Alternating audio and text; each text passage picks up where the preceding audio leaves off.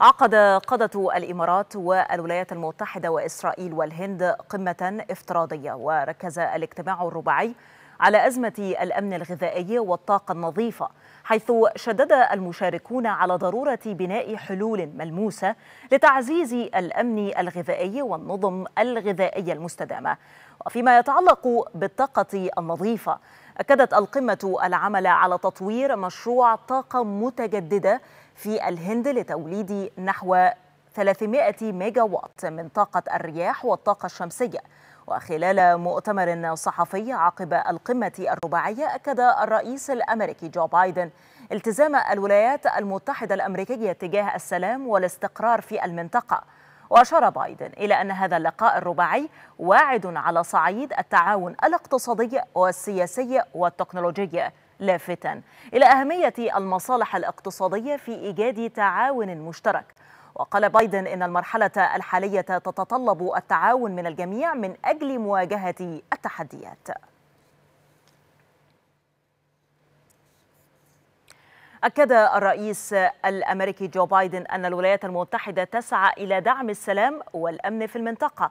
ولدى وصوله إلى إسرائيل في مستهل جولته الشرق أوسطية الأولى منذ تولي منصبه. قال بايدن إن حل الدولتين هو السبيل لتحقيق الاستقرار في المنطقة.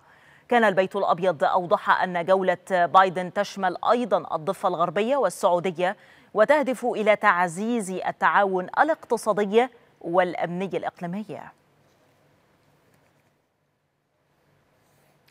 المزيد من المعلومات والتفاصيل مشاهدين عن جولة بايدن الشرق أوسطية الأولى منذ تولي منصبه.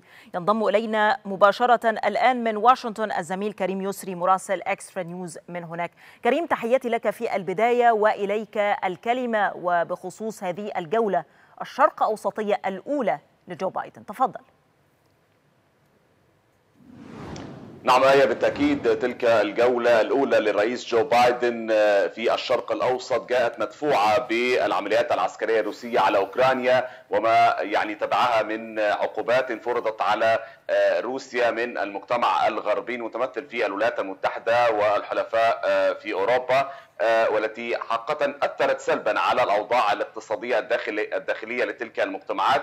خاصة المجتمعات الأوروبية وأيضا المجتمع المجتمع الأمريكي. نتحدث عن أن جو بايدن في مستهل زيارته توجه إلى إسرائيل. ربما هناك عدة ملفات ناقشها اليوم مع رئيس الوزراء الإسرائيلي. أهمها بالتأكيد ملف البرنامج النووي الإيراني واتفاقيات السلام بين إسرائيل والدول العربية بالنسبة لمستقبل تلك الاتفاقيات. وهل ستكون هناك اتفاقيات جديدة؟ ويعني كان هناك تأكيد اليوم من قبل الرئيس الأمريكي ورئيس الوزراء الإسرائيلي على أن إيران لن تمتلك سلاحا نوويا وأن الولايات المتحدة ستحرص على ذلك، أما بالنسبة للقمة الرباعية التي خرجت بين الجانب الأمريكي الإسرائيلي الهندي الإماراتي بالتأكيد يعني جو بايدن في كلمته خلال تلك القمة ذكر بأن يعني بأن رؤساء تلك الدول يحظون بعقول شابة وبأن مجتمع ريادة الأعمال في تلك الدول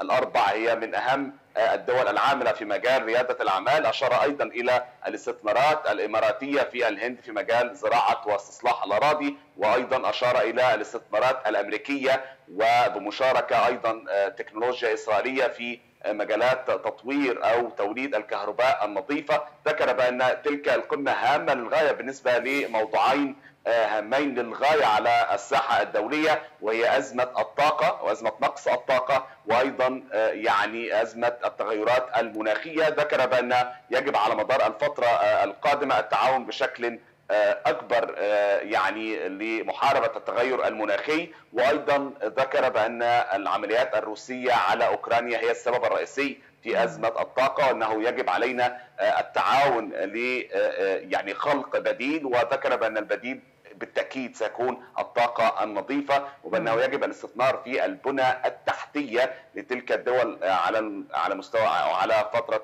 السنوات القادمة. أيضا يعني من أهم ما ذكره بايدن بأن تلك القمة تعمق من الاستقرار في الشرق الأوسط ومنطقة المحيط الهادي والهندي أيضا ويعني تلك تعتبر أهم ما ذكره بايدن خلال تلك القمة وأيضا أهم ما ذكره بايدن اليوم خلال المؤتمر الصحفي الذي عقده مع رئيس الوزراء الإسرائيلي يائير لبيد. كريم يسري مراسل إكسترا نيوز من واشنطن شكرا جزيلا لك كريم على كل هذه التفاصيل.